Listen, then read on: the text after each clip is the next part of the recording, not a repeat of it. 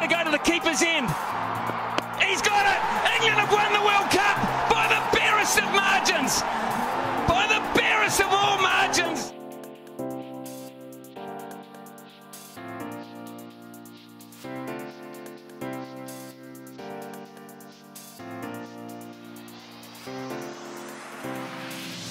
as much as I can. I can't quite believe that we've got over the line. It's, it's been an extraordinary day, the most incredible game of cricket with nothing between the sides.